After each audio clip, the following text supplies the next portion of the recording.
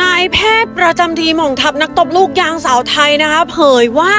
นักกีฬามีอาการบาดเจ็บ 3 คนนะคะ เรามาฟังรายละเอียดเรื่องนี้กันเลยค่ะ ที่สำคัญนะคะก็มารอลุ้นเลยค่ะว่าคืนนี้ นัดสุดท้ายของสัปดาห์ที่ 2 ที่ไทยจะพบกับโครเอเชีย ในเวลาเที่ยงคืนเป้งเนี่ยสามคนนี้จะได้ลงไหมและ 3 คนนี้อาการเป็นอย่างไรบ้าง เริ่มกันที่คนแรกค่ะ สาวบุ๋มบิ๋มชัชวนโมกศรีเมื่อวานนะคะที่มีอาการ บาดเจ็บตรงดวงตาเล็กน้อยนะคะ เนื่องจากโดนบอลอัดใส่หน้าแบบเต็มๆถ้าใครได้ดูนะณเวลานั้นสาวบิ๋มถูกให้ออกจากสนามนะคะ และส่งอมสินสะสีพาพรลงไปทันที หลังจากนั้นเธอก็ได้กลับลงมาในช่วงท้ายเซตอีกนะ ก็ถือว่ามีอาการที่เคืองเคืองตาตลอดต้องประคบเย็นตลอดนะคะในการขอเวลานอกทุกครั้งเราก็จะเห็นว่าสาวบิ่มเนี่ยประคบเย็นตลอด แต่ถ้าดูอาการแล้วสาวบิ่มก็น่าจะอาการน้อยที่สุดนะคะใน 3 คนนี้ สาวคนที่ 2 ค่ะ ที่เมื่อวานเราก็ได้เห็นกันนะ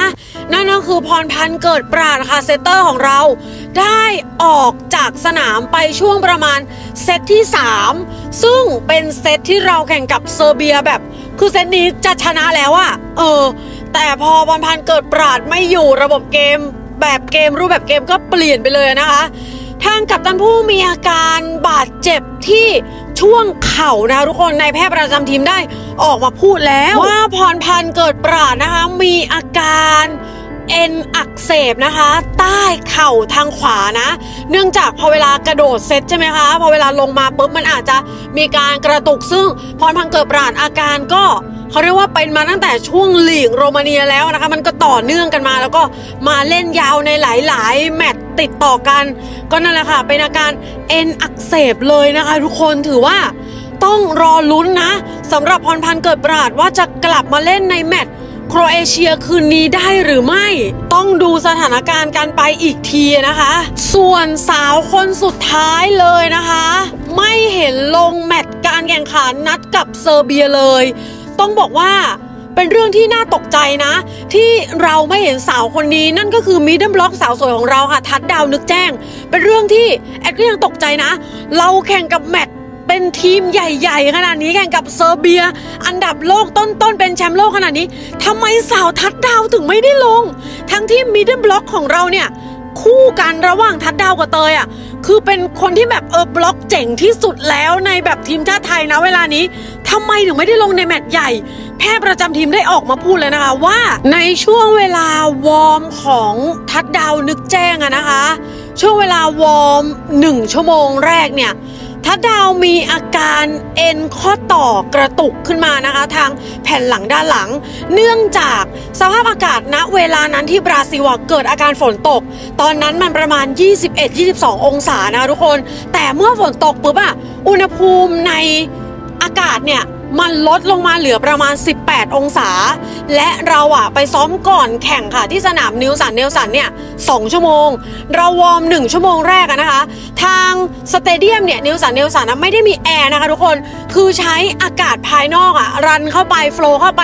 ในสนามเลยอะ ทำให้อากาศข้างในมันเย็นจริง ๆ มันอาจจะแบบเย็นเยือกนะคะทุกคนเข้าใจ feel คำนี้ไหมมันเลยทำให้กล้ามเนื้อของทัดดาวนะคะ เกร็งขึ้นมาคือไม่ใช่ตะคิวนะคะ แต่ว่ามันเป็นการเกร็งที่แบบมันกระตุกขึ้นมา ดังนั้นทางโค้ชด่วนเห็นแบบนี้ก็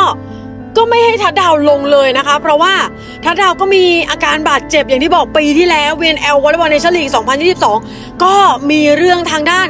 หลังเหมือนกันที่ต้องกายภาพมานานนับปีเลยนะคะพอมันมีเรื่องที่เกี่ยวกับแผ่นหลังของทัดดาวเข้ามาอีกนิดนึงอะ่ะในการแข่งขันกับเซอร์เบียเมื่อวานอะโค้ดก็เลยไม่ให้ลงเลยค่ะทุกคน ตัดสินใจไม่ให้ลงเลย เราก็เลยเนี่แหละ ตกใจว่าทัดดาวหายไปไหนทำไมถึงไม่ได้ลงในแมตช์ที่สำคัญแบบนี้นะคะ นี่เป็นคำตอบนะคะทุกคน ถือว่าเป็นเรื่องที่น่าตกใจนะสำหรับพรพันธ์เกิดปราดกับทัดดาวนึกแจ้งนะ อาการของสองคนนี้แอดรู้สึกว่าก็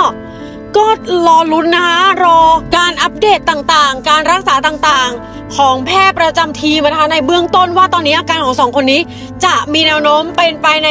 ทิศทางไหนบ้าง ก็วันนี้นะคะการแข่งขันกับโครเอเชีย รอลุ้นค่ะว่าพรพันธ์เกิดปราดกับทัดดาวนึกแจ้ง จะได้ลงไหม เพราะอย่างที่บอกว่ามันเป็นเรื่องของแบบ เออมันมันก็อันตรายนะทุกคน อย่างทัดดาวนี่อันตรายเลยนะ ช่วงแผ่นหลังที่เป็นมาตลอดตั้งแต่ปีที่แล้ว ส่วนพรพันธ์เกิดปราดก็เป็นมาอย่างยาวนานตั้งแต่หลีกโรมาเนียนะคะเอออันตรายทั้งคู่เลยแอดพูดเลยก็ ที่จริงแมตช์ของโครเอเชียก็ถือว่าถ้าไม่มีอะไรผิดพลาด ทัพสาวไทยก็น่าจะเอาอยู่ ก็ถ้าเป็นไปได้นะคะทางโคนด่วนก็อาจจะให้พรพันธ์เกิดปราดและทัดดาวนึกแจ้งพักก็ได้แต่ก็รอลุ้นค่ะทุกคน